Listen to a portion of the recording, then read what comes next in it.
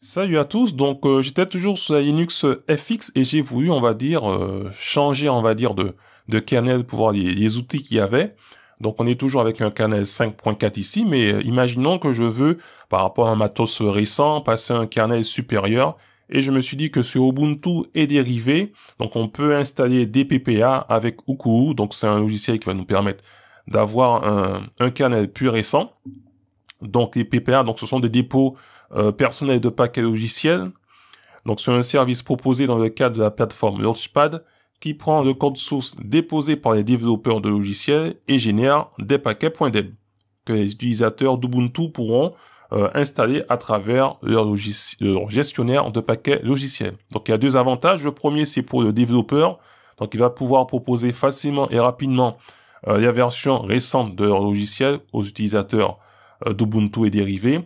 Et le deuxième avantage, c'est pour les euh, utilisateurs, parce qu'une fois qu'il y aura la, mise à jour, on va dire, de ces logiciels, eh bien, ils vont pouvoir en bénéficier automatiquement. Donc là, on peut lister, hein, avec cette commande, des, euh, PPA qui sont, on va dire, euh, installés sur cette, cette distribution. Donc, vous avez la liste des, des PPA qui sont, on va dire, installés. Maintenant, le PPA qui, qui m'intéresse en, question, c'est le, le Uku. Donc, c'est un outil d'installation du dernier noyau Unix principal sur la distribution euh, basée sur euh, Ubuntu. Donc, c'est développé par euh, Tony George. Donc, merci à lui. Donc, déjà, on voit que la page ne se trouve plus. Donc, vous avez un petit résumé du programme. Et aussi, vous avez le Launchpad. Et lorsque l'on va euh, sur le Launchpad, eh bien, on retrouve plus de, de. Donc, on va retrouver euh, Timeshift, etc., Shutter, d'autres euh, d'autres programmes, mais pas de pas. Et si je veux maintenant donc l'installer, donc je vais ajouter, on va dire, ce, PPA. On va ouvrir le terminal et puis on va nettoyer tout cela. Et on va coller donc le PPA. Il va nous demander le mot de passe. Et là, il va nous dire qu'il n'arrive pas à trouver le nom de ce PPA parce que il n'est plus sur le, le Launchpad, donc le Ukuhu. Donc je pense que pour les anciennes versions d'Ubuntu, ça peut encore passer, mais si vous êtes avec la version 20.04, ça passe plus. Alors j'ai regardé sur euh, une petite recherche sur le, forum euh, d'Ubuntu, il y a quelqu'un qui a répondu, hein, eh bien c'est que le développeur a décidé de rendre l'appli payante en début d'année et donc de retirer son PPA. Donc si vous voulez maintenant donc utiliser donc euh, lorsqu'on va sur son site, donc on voit, on, voit aussi qu'il euh, travaille sur d'autres projets.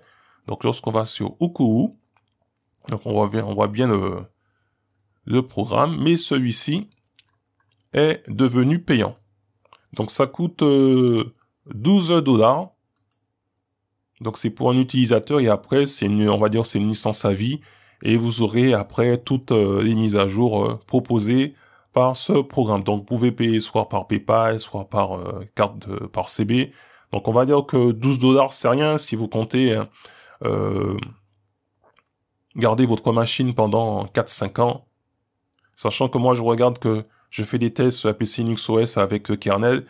C'est au minimum, on va dire, deux kernels euh, par mois que je teste. Donc, si vous avez besoin d'un kernel récent, eh bien, 12 dollars sous une machine que vous avez peut-être acheté 600, 700 euros, eh bien, il va falloir penser à, à cet euh, investissement en plus.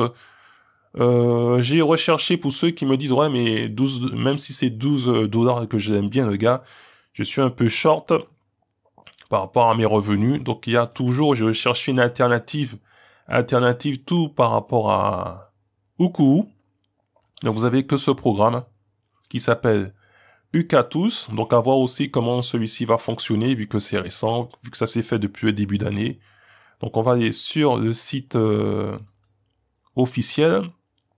Voilà, donc on est sur le GitHub et on voit comment fonctionne cet outil qui va vous permettre à ce moment de continuer à faire des, des mises à jour du kernel, tout, ce qui est, on va dire, Ubuntu euh, et dérivé.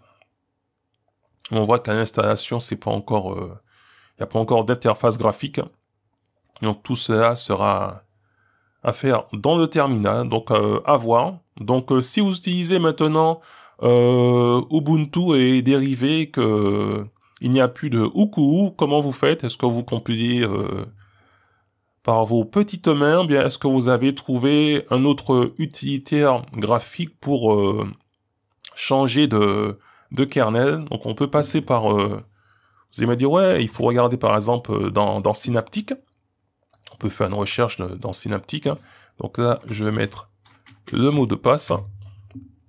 Et puis on va rechercher donc euh,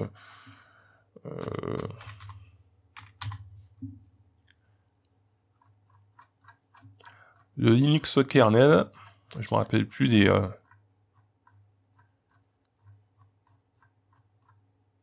alors on est ici et on va aller Voilà, donc Linux, on a les différents modules. Linux image, donc là, on voit qu'on a le... J'ai le 5.4.031 que j'ai installé. Vous avez aussi l'image 5.6.0 quelque chose, mais c'est en version euh, OEM. Donc à voir comment ça s'installe sur Moutou. Donc il faudrait peut-être que je fasse un clone ici de cette machine virtuelle et que je teste. Voilà, donc après, vous avez du 5.6.0 quelque chose qui semble être euh, non signé. Donc à voir. Donc il semble que ce programme Uku devait bien bien fonctionner et le développeur pour des raisons qui lui appartiennent, il a bien le droit aussi de d'en vivre hein, si c'est sa passion. Donc nous avons Uku qui est devenu payant. Donc est-ce que c'est aussi euh, le début de le futur des PPA qui vont commencer à être payants? Ça peut être des PPA, euh, ça peut être des Fatpacks, ça peut être des Snaps, euh, et pourquoi peut-être, pourquoi pas peut-être demain des API images qui deviennent payants, parce que les gens ils ont aussi besoin de, vivre de leur euh, de leur passion, de leur revenu. Donc à voir, qu'est-ce que vous en pensez, puis quelle alternative vous utilisez maintenant pour remplacer euh, sur Ubuntu et dérivé. Donc je vous dis à très bientôt pour une prochaine vidéo. Et en attendant, gardez la forme et la santé. Bye bye